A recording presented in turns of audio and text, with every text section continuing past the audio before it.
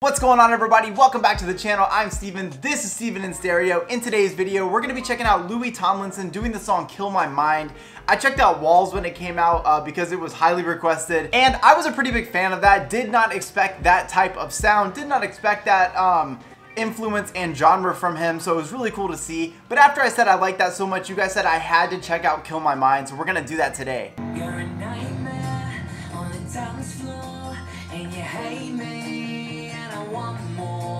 Total distraction while I'm waiting for your reaction.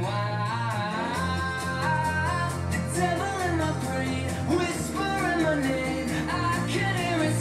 Okay, so right away, I already love the instrumental to this. I like it's a little more upbeat, and this is what I imagined his vocals would sound like on a track like this. If you remember, I did the Walls video. I talked about how um, it, his music really reminded me of that 90s and 2000s alternative movement.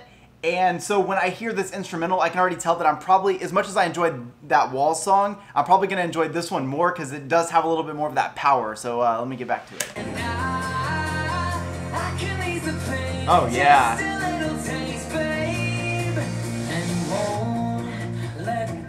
Oh, let's get a powerful chorus. Yeah!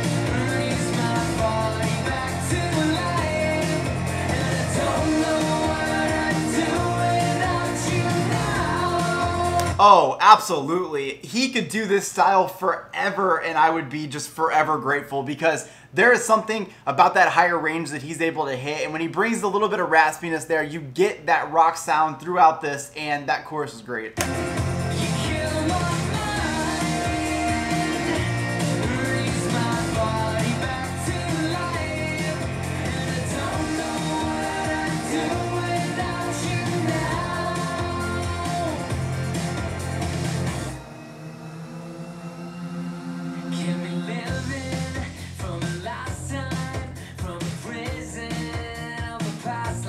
He's good in this range.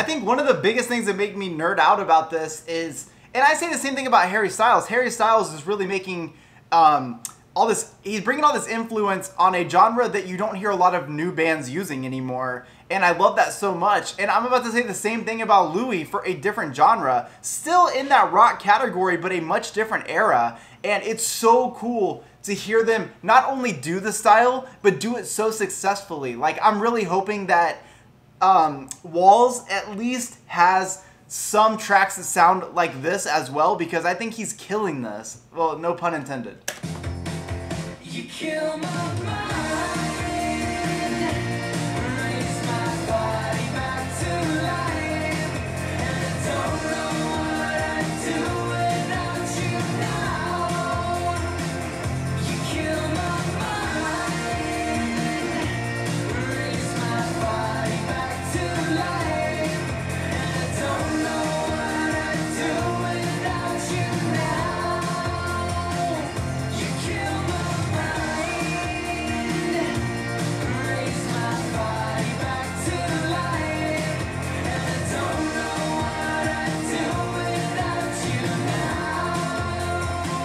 Man, like if I'm not gonna love it enough, there's also again, and I talk about this so much on this channel, it's probably annoying at this point, but I love the harmonization in the chorus there. Even though it's very subtle, I feel like it adds so much depth and dynamics, and I just wish every chorus in existence could have some harmonies like that.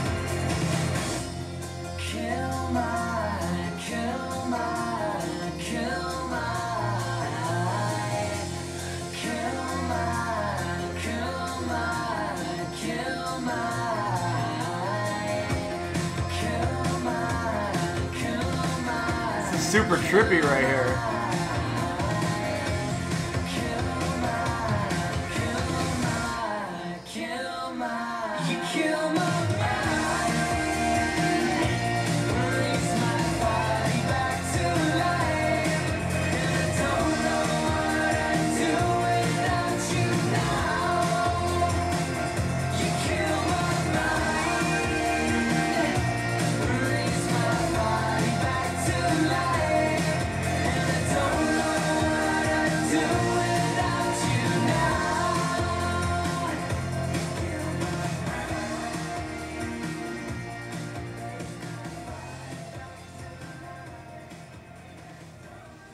What?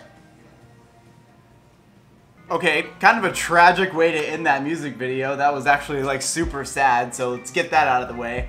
Um, my only critique on the song is that I do feel like it was a little bit repetitive in the lyricism. I know that um, a lot of you guys have told me that Louis actually wrote most of the final One Direction albums, um, all these great songs that everybody loves. I wish there would have been a little bit more um, meat and potatoes in the in the uh, verses, but otherwise Let's get on to the positives because holy shit. So right away, Louis' vocals immediately stand out to me. I love that little bit of higher range, that little bit of raspiness in his vocals, and this really felt like a break out of his shell. When I did my One Direction carpool karaoke, which is only available on Patreon because YouTube hates me for whatever reason, I mentioned that he seemed a little shy. He seemed a little bit in the back, kind of like reserved. And so to be able to hear him on a track like this, really just like belting it out, is really cool for me to see because it shows me that he has so much that he's capable of doing and that first album coming out is such a big deal for that. Furthermore, I'm gonna keep saying I love the resurrection of some of these genres and I think Louis and Harry are doing a really great job of doing that from different eras but bringing that same category back up. I really do wish the two of them would do something together and who knows, maybe we'll get that after Louis' first album drops. Maybe we'll get some sort of a collaboration because I just feel like their two vocal styles have similarities as far as influence, but they could not be more different. And I think the two of them together could really shine on a track. Last thing I want to say, I just love how upbeat this was. It was just a really great chance to really see Louis again just break out of that shell, bring that energy, give us that amazing chorus, those great harmonies, and overall just really set the tone for kind of like what his style was going to be. So overall, I'm a huge fan of this song and this video, and honestly Louis right now. So I hope you guys liked today's video. If you did, please make sure to like the video, subscribe to the channel. You guys can follow me on Instagram and Twitter. Links are always in the description. I'll catch you guys in the next one. Peace.